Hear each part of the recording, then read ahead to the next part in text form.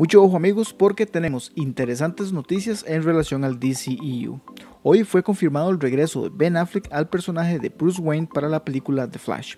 Recordemos que esta cinta estaba basada en el popular cómic Flashpoint Paradox, un evento que cambió drásticamente la historia de los personajes de DC.